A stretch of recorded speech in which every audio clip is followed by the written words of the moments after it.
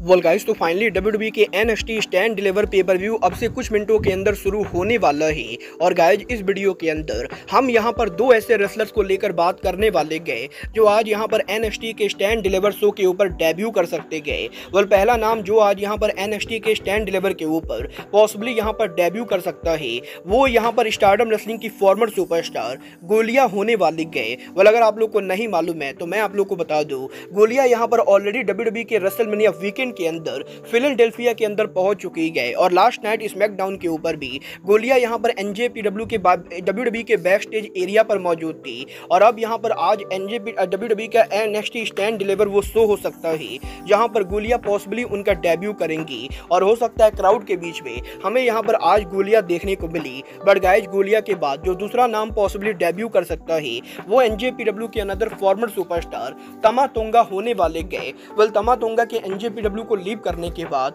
Multiple reporters के द्वारा ये कंफर्म किया गया है कि तमा तोंगा यहाँ पर एन को छोड़ने के बाद डब्ल्यू को ज्वाइन करने वाले गए। और क्योंकि लास्ट नाइट डब्ल्यू के हॉल ऑफ़ फेम के ऊपर तमा तोंगा के फादर हाकू यहाँ पर डब्ल्यू के शो पर मौजूद थे तो इस चीज़ के तगड़े चांसेस है कि आज यहाँ पर एन के पेपर व्यू के ऊपर हमें यहाँ पर तमा तोंगा का डेब्यू देखने को मिले और पॉसिबली शो के ऊपर फाइनली यहाँ पर बैड बॉय डब्ल्यू के ऊपर उनका डेब्यू करे। मतलब ये तो आने वाला टाइम बताएगा कि पेपर व्यू के ऊपर तमातोंगा और गोलिया में से कोई एक यहाँ पर डेब्यू करता है या नहीं?